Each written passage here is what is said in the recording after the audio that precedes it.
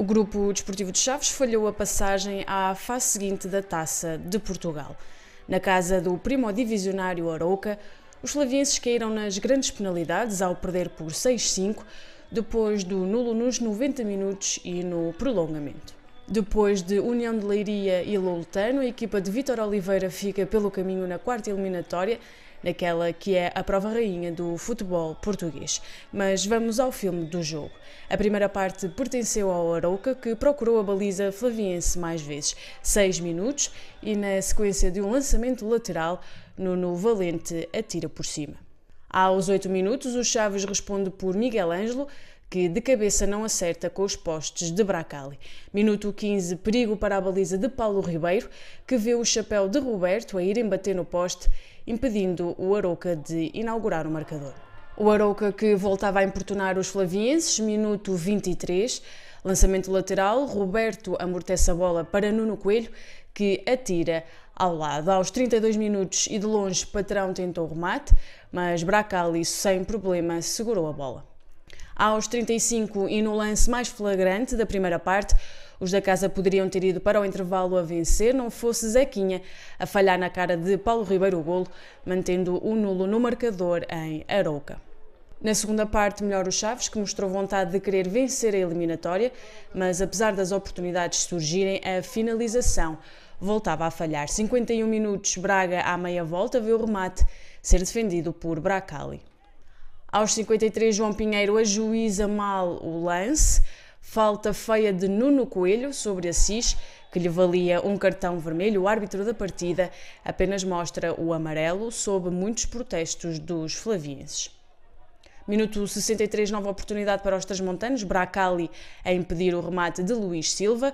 Dois minutos depois, o Arouca responde e com perigo. Excelente iniciativa individual de Nuno Coelho. O remate a sair perto do poste flaviense. Do outro lado, o Braga voltava a tentar e Bracali voltava a defender. Aqui, Nuno Valente tira muito por cima.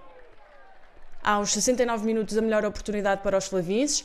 Bom passe de patrão a lançar Sandro Lima na direita, o avançado que falha a chance de colocar os Chaves em vantagem na eliminatória. Maurides, aos 79, também ainda tentou dar um ponto final na eliminatória, mas a partida acabaria mesmo por seguir para prolongamento. Único registro no prolongamento vai para o cabeceamento de Adilson nos primeiros 15 minutos, que Paulo Ribeiro defendeu. Fraca prestação das duas equipas no prolongamento, que obrigou a que a partida fosse decidida na marcação das grandes penalidades. A história das grandes penalidades até começou bem para o Desportivo de Chaves, com Paulo Ribeiro a defender o remate de Arturo Moreira, mas Ludovic e Mike falharam para os flavienses. O Arouca fez a festa da passagem à fase seguinte da Taça de Portugal em casa, uma vitória arrancada a ferros da equipa primodivisionária que há duas épocas já havia eliminado na mesma fase o Grupo Desportivo de Chaves. Penso que não fizemos a vida cara, penso que fomos melhores que o Arouca. Tirando aqueles 20 minutos iniciais, o resto da primeira parte foi equilibrada. Eh, e na segunda parte e no prolongamento penso que fomos melhores. Tivemos um jogo com poucas oportunidades, tivemos pelo menos quatro oportunidades ótimas somos penalizados porque efetivamente não marcamos eh, com, com boas com boa possibilidade com boa possibilidade de chegar ao golo eh, não materializamos, há uma inépcia da nossa parte, há uma falta de sorte mas de qualquer das formas o resultado é o que é, perdemos nas grandes penalidades. Penso que fizemos um bom jogo perante uma equipa que tem vindo a fazer um campeonato muito interessante na Primeira Liga e agora vamos, vamos voltar para aquilo que é o nosso grande objetivo, que é, que é o campeonato da segunda liga. Difícil, como todos os outros jogos que temos tido. Não há jogos fáceis, mas hum, o futebol é feito disto, é feito de, de caráter, de coragem. Acima de tudo, quando, quando as coisas não, não correm de feição.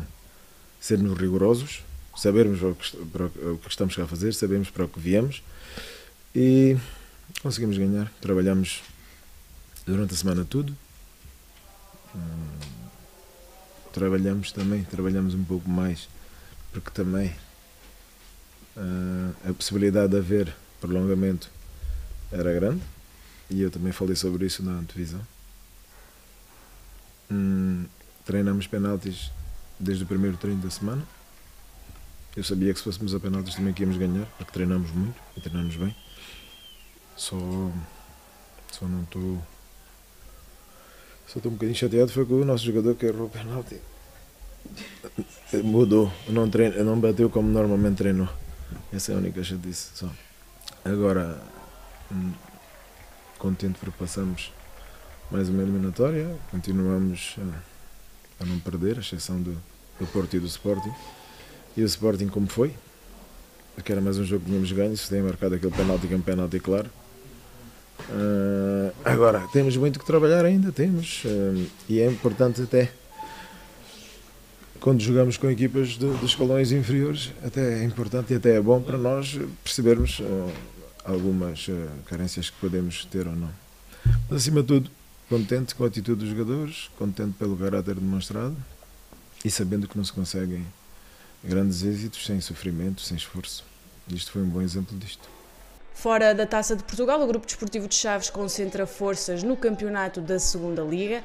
O próximo jogo, a contar para a 16ª jornada, é já esta quarta-feira, dia 25 de novembro, às 15 horas, com os flavienses a receberem os Bs do Sporting.